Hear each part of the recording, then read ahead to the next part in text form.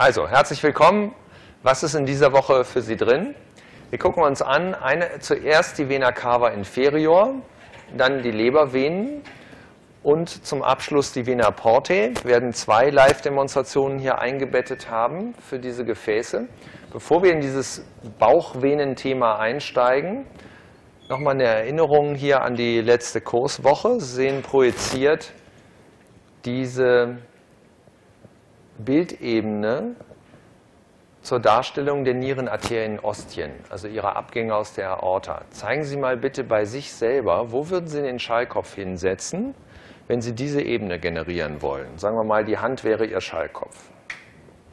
Und wie würden, ouch, hallo? Ja, zeigen Sie mal. Und wie würden Sie den Schallkopf kippen wollen? Ist das wirklich eine Querschnittsebene? Überlegen Sie noch mal eben. Wenn Sie diese Ebene generieren möchten. Das stimmt, wir haben in der Querschnittsebene angefangen, die Nierenarterienostien darzustellen. Aber hier hatten wir diese 90-Grad-Problematik. Ne? Das heißt, wie wollen Sie den Schallkopf jetzt aufsetzen? Nee, das ist kein hoher Flankenschnitt hier oben. Wir setzen den Schallkopf woanders an. Wo war das nochmal? Am lateralen Rand des rechten Musculus rectus. Und zwar jetzt nicht in einer Sagittalebene, lateraler Rand rechter Musculus rectus, sondern eine solche Schrägebene. Ne? So, so setzt man. Und jetzt noch schräg. Bei dir ist das noch eine reine Sagittalebene. Man muss ja auf die Wirbelsäule zuschallen. Entschuldigung, ich meine gekippt. Also nicht schräg, sondern so gekippt, dass die Schallwellen eher zur Wirbelsäule hin geleitet werden. Das ist die Ebene, die dann dazu führt, dass die rechte Nierenarterie hier im Bild, dass die genau auf den Schallkopf zufließt und die linke Nierenarterie im Regelfall bei 3 bis 4 Uhr im Querschnitt dann genau vom Schallkopf wegfließt. Und dann kriegen wir die validen PSV oder Peak Systolic Velocity Bestimmungen der Nierenarterie. Also rechter Musculus rectus Rand lateral und dann noch gekippt, dass die Schallwellen da durchgehen. Wir nähern uns dann einer Koronarebene oder einer Frontalebene hier, hier rein. Ne? Okay, gut. Worum geht es diese Woche? Abdominelle Venen, Natürlich ist das Ziel, dass Sie die Vena cava inferior und die Lebervenen sicher einstellen können, um dort deren Flussprofile abzuleiten, diese korrekt zu interpretieren. Wir werden nochmal den VCI-Kollaps-Test wiederholen aus dem Grundkurs. Kann noch mal jemand reinwerfen, wofür das, äh, dieses Phänomen oder dieser Test nützlich sein könnte? Genau, um eine Rechtsherzinsuffizienz äh, abzuklären. Natürlich gibt es dafür auch andere Zeichen, Beinödeme, EKG und andere Dinge, aber das ist eine der Möglichkeiten zu schauen, ob sich das Blut vorm rechten Vorhof oder rechten Herzen staut. Es wird bei der Ableitung der Vena portae um die Fragestellung portale Hypertension gehen, diese auszuschließen. Und dabei ist das manchmal wirklich nicht ganz leicht. Wenn man hier im schrägen Oberbauchschnitt, das wäre ja die Ebene für die Vena portae Darstellung, ähm, das machen möchte, dann haben wir dabei folgendes Problem, dass wir je nach Atemstellung ähm, der Leber entweder hier einen Transversalschnitt haben, bei, äh, bei tiefer Inspiration geht ja die Leber durch das sich absenkende Zwerchfell auch nach kaudal, dann wird dieser Verlauf horizontaler oder in Expiration ist er etwas steiler gestellt. Das Problem ist aber, dass hier am Leberhilus jede Menge lufthaltige äh, Darmschlingen, rechte Kolonflexur zum Beispiel sind Dünndarmschlingen oder ähnliches, die, oder Duodenum, die den Blick hier drauf versperren können. Und deswegen werden wir Ihnen dazu zwei Alternativen zeigen. Fangen wir mal mit der Vena cava inferior an. Dafür setzen wir den Schallkopf sagittal rechts paramedian im Epigastrium auf und bekommen dann dieses Bild hier bei dem von rechts im Bild, also kaudal,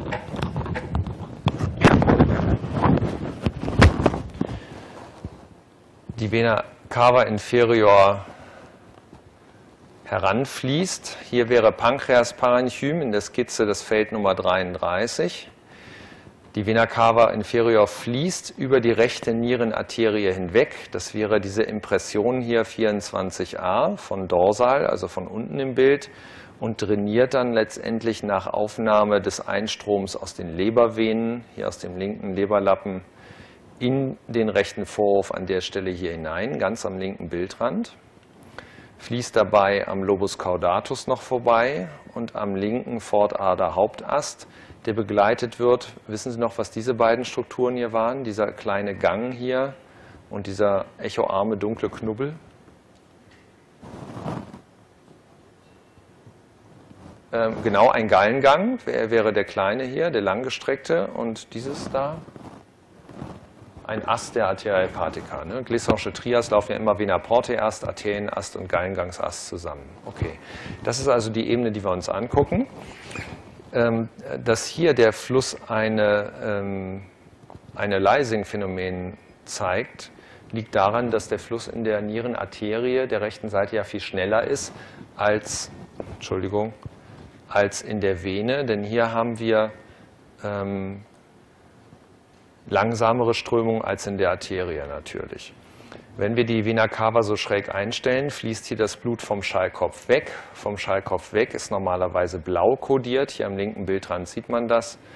Ähm, und auch der Fluss in den Lebervenen läuft ja aus der Leberperipherie kommend hier auf die Vena cava inferior zu, auch vom Schallkopf weg und deswegen ebenfalls blau kodiert. Jetzt über den Herzzyklus. Beim gesunden Herzen ändert sich der Fluss physiologischerweise sowohl in der Vena cava inferior, in den herznahen Abschnitten, als auch in den zuströmenden Lebervenenabschnitten. Und die erste Strömung ist hier unterhalb der Nulllinie, das wäre also im Farbbild blau kodiert, eine Strömung, die aus der Leber Richtung Vena cava inferior fließt, in das Herz hinein. Also kardiopetal. Wer sich denn das mit Kardiofugal und Kardiopetal nicht merken kann, denken Sie einfach an Zentrifugalkraft.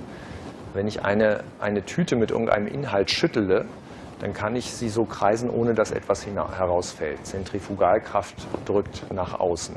Also vom Zentrum weg in die Peripherie, äh, Peripherie heißt fugal und zum Zentrum hin heißt petal. Also das wäre ein kardiopetaler Fluss, der hervorgerufen wird durch die Ventilebenenverlagerung in der Ventrikelsystole. Dadurch, dass sie, sich die Ventile in der Herzebene durch die Kontraktion der Ventrikelmuskulatur so zusammenziehen, wird der Raum des Vorhofes auseinandergezogen. Es entsteht ein Sog. Und dieser Sog saugt aus den herznahen Abschnitten der Cava inferior und, und aus den Lebervenen das Blut in das Herz hinein.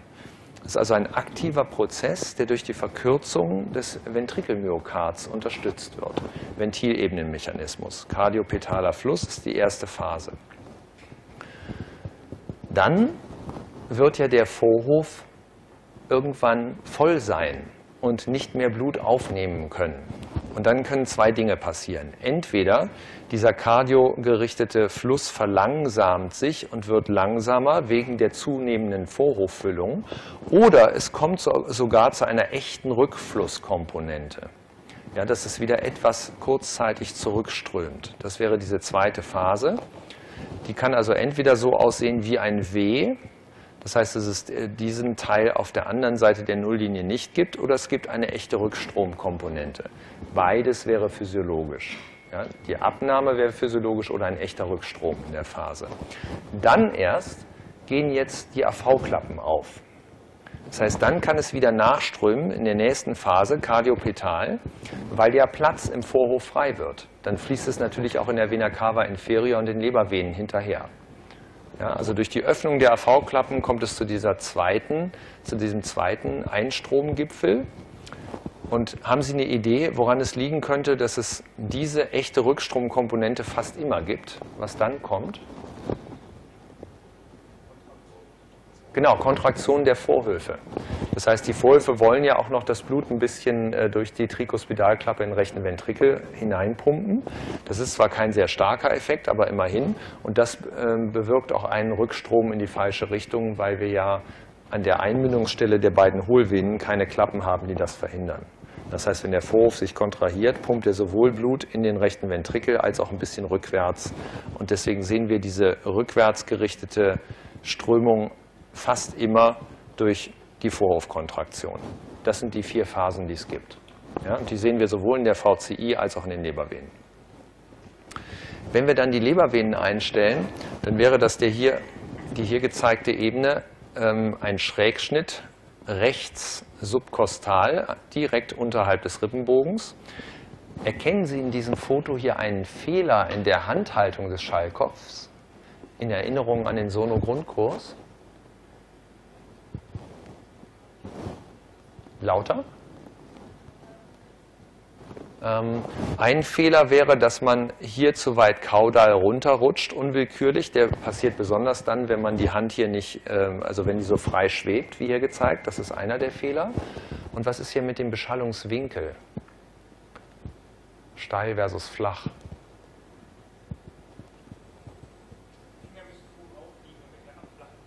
Ganz genau.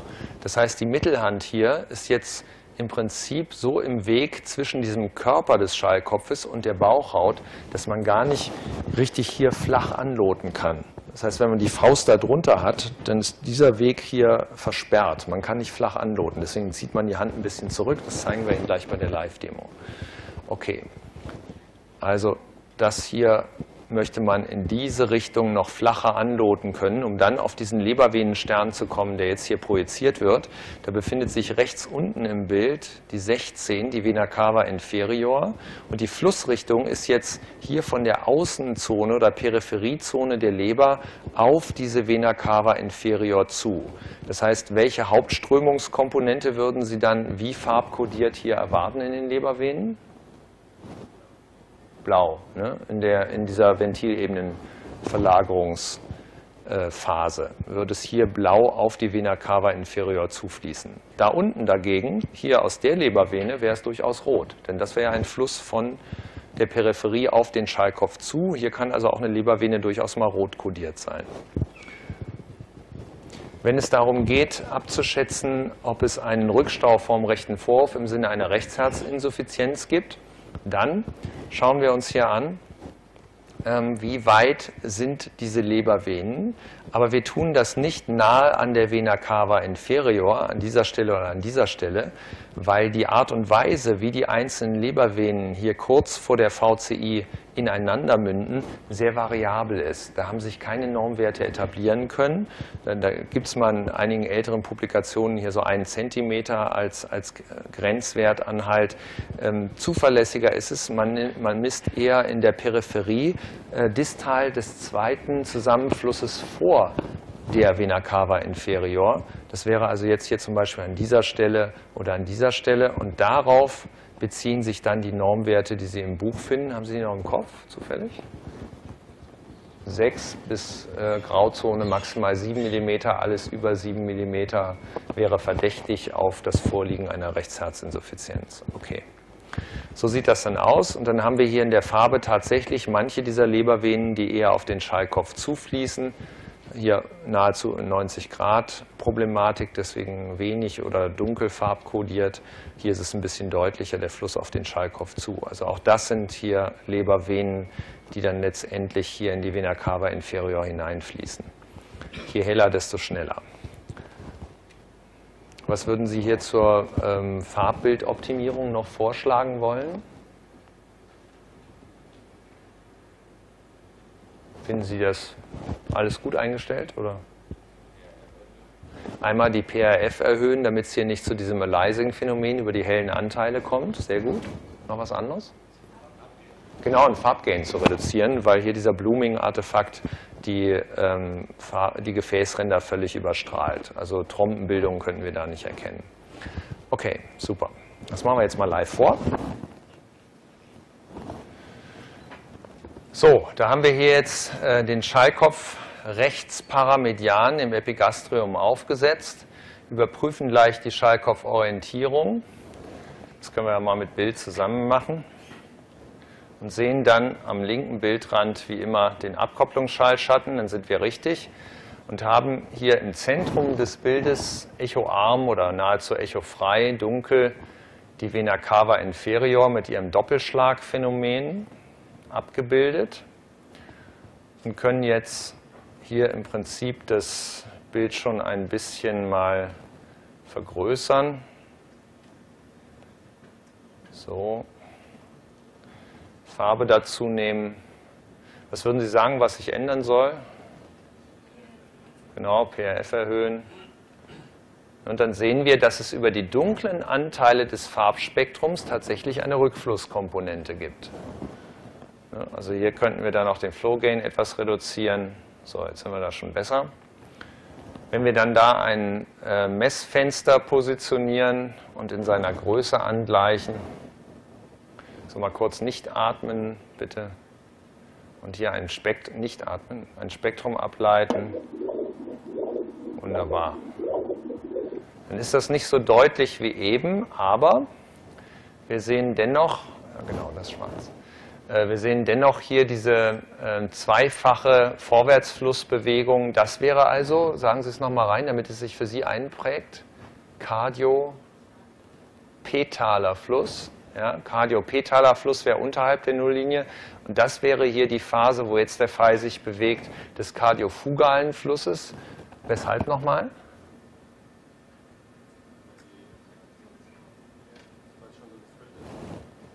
Das wäre hier zwischen, da, da es schon so gefüllt ist, nimmt hier der Einstrom ab, nimmt dann wieder zu, wenn sich die AV-Klappen öffnen.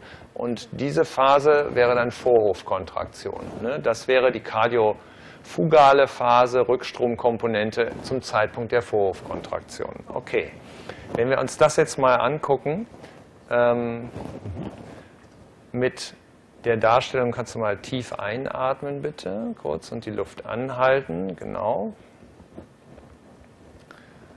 Vergrößere das Bild jetzt mal, um eine Lebervene schöner reinzukriegen. Dann überlegen Sie mal, was bedeutet das für den Winkel hier? Weiteratmen. Wenn wir jetzt die Lebervene nehmen und nicht, nicht die Vena cava, dann fließt es hier ja genau vom Schallkopf weg oder genau auf den Schallkopf zu. Das heißt, das, was wir jetzt messen, wird eine deutlich höhere Genauigkeit haben als das, was wir eben in der Kava gemessen haben, aufgrund der Winkelproblematik. Okay, ich versuche jetzt mal, wenn du mal ein bisschen mitteltief einatmen könntest, bitte, und die Luft kurz anhältst, versuche ich mal, diese Lebervene hier vernünftig reinzukriegen, da ein Messfenster reinzulegen und in der Lebervene das hier abzuleiten. Wunderbar, vielen Dank. Und dann sehen wir, dass das durchaus schwankt, aber das, was wir erwartet haben, nämlich hier genau, hier im Standbild, Einstromkomponente wird langsamer, nochmal eine Einstromkomponente und dann der kardiofugale Rückwärtsstrom bei der Vorhofkontraktion, hatte hier dazwischen nur eine geringe Rückflusskomponente. Ich hatte Ihnen eben gesagt, beides wäre physiologisch, dass es nur langsamer wird oder dass es bei zunehmender Vorhoffüllung hier wäre jetzt wieder kardiopetaler Einstrom bei Ventilebenenverlagerungen der Systole. Der Vorhof wird voll, es kommt zu einer leichten Rückstromkomponente, dann öffnen sich die AV-Klappen, es kann wieder nachströmen und am Ende der Diastole kontrahiert der Vorhof und deswegen kommt zur Rückflusskomponente. Das ist also hier dieses W-Profil, was typisch ist für diesen Rückstrom. Wenn wir dann noch in der Vena cava ähm, uns das anschauen, wie das aussieht mit der Vena cava Weite bei forcierter Inspiration, dann teilen wir den, ja, dann teilen wir den Bildschirm und in Ruheposition Atemmittellage frieren wir das Bild ein, gehen dann auf das andere Bild und machen dann der Patientin vor, was sie gleich tun soll, um einen stark negativen Unterdruck im Interpleuralspalt zu erzeugen. Ich mache es jetzt nur einmal vor, bitte noch nicht nachmachen. Bitte hole mal durch, bei geschlossenem Mund durch die Nase tief Luft durch eine starke, aber langgezogene Inspiration. Das könnte zum Beispiel so aussehen. Ja, in, in dieser Abfolge. Ich nehme jetzt die Hand auf den Freeze-Knopf, damit ich sehen kann, ob die Vena cava wunschgemäß kollabiert, ja oder nein. Dann können Sie es jetzt bitte mal machen. Wunderbar, vielen Dank. Weiteratmen. Und dann sieht man, dass es relativ schnell aus dieser Ruheposition, wenn ich hier durch die Zeitachse die Bilder zurückwandere, hier an der Stelle, an der Stelle zum vollständigen Kava-Kollaps gekommen ist. Den hätte man nicht zu erwarten, wenn ein Rückstau vorm rechten Vorhof vorhanden wäre. Okay.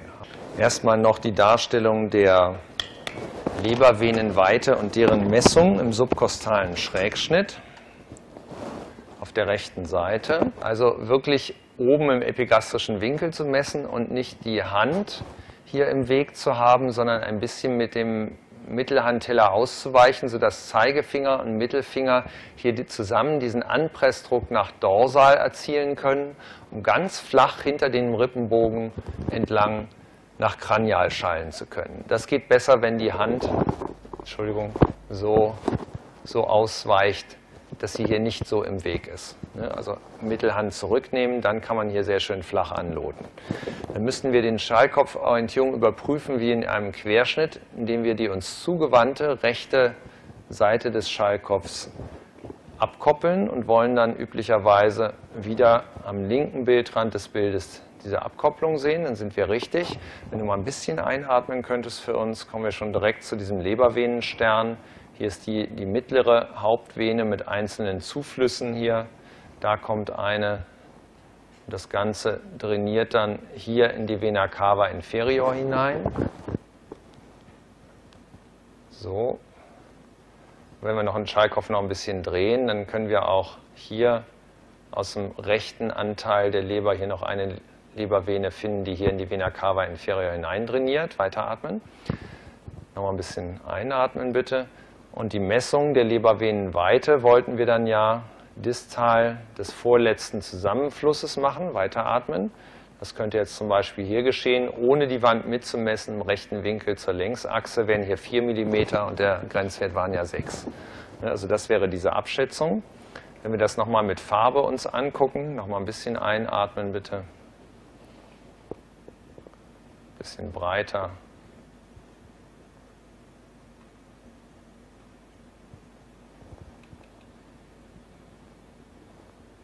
Dann sehen wir auch hier die Farbgebung in den Lebervenen.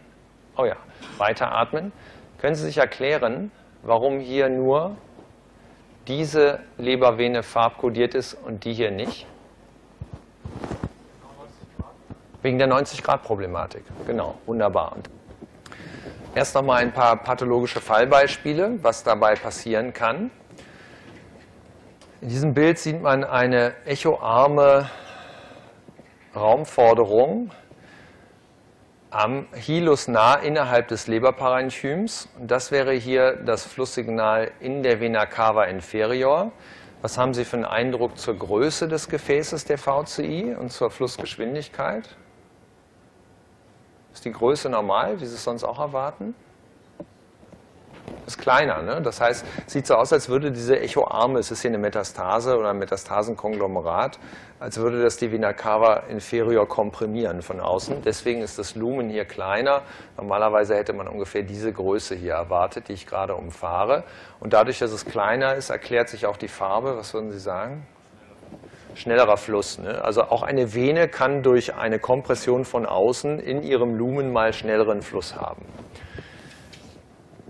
In dem Bild sieht man einen Kollateralkreislauf, der darauf hindeutet, dass das hier nicht ausreicht.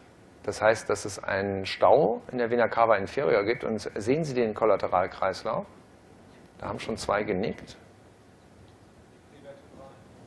Prävertebral, in welcher, an welche Vene haben Sie gedacht? Genau.